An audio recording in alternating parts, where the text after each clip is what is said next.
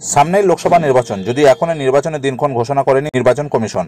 কিন্তু তার আগে পশ্চিমবঙ্গে এসে পৌঁছেছে কেন্দ্রীয় বাহিনী। আজ বীরভূম জেলার তারাপীঠ থানার অন্তর্গত বুদিগ্রাম ও শাহাপুর গ্রাম পঞ্চায়েতের রামভদ্রপুর, ইমামনগর বুধিগ্রাম করকরিয়া ব্রাহ্মণডিহি সহ বেশ কিছু গ্রামে ঘুরে ঘুরে সাধারণ মানুষের সাথে কথা বললেন তারাপীঠ থানার আধিকারিক রঞ্জিত বাউরি ও কেন্দ্রীয় বাহিনীর জওয়ানেরা।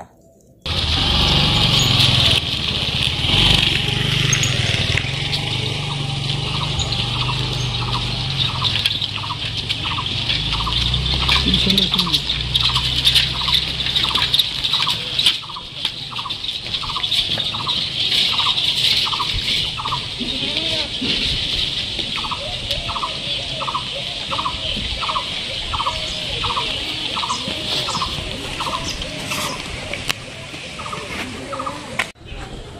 শশাঙ্ক শেখর দত্ত। শশাঙ্ক শেখর দত্ত। এটা কোন গ্রাম? কলকরিয়া ভোট দেন তো আপনার। হ্যাঁ। সামনে লোকসভা নির্বাচন আসছে জানেন তো? হ্যাঁ। কোথায় ভোট দেন এখানে? প্রাইমারি গ্রাম।